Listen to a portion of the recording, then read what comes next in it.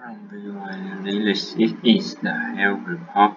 Simple range are easy to use, take over and protect good giving them time to heal.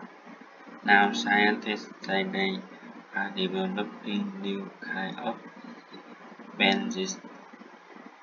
They have begun adding small sensing sensor to breast making more sensitive.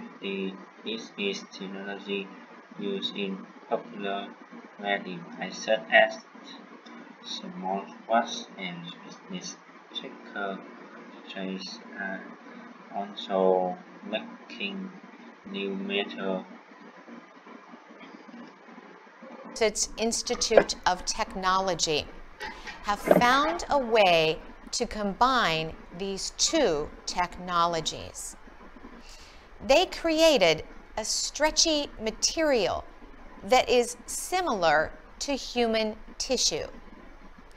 The new product has wires that lie in a Z-shaped design.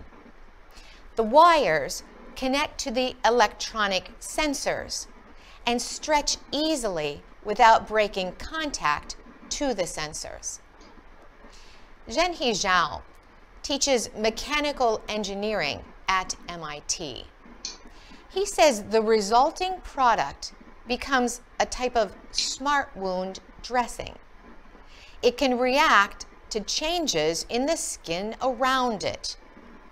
For example, Zhao says if there is a sudden increase in temperature, a command will be sent. That command can control the delivery of a drug to a special location.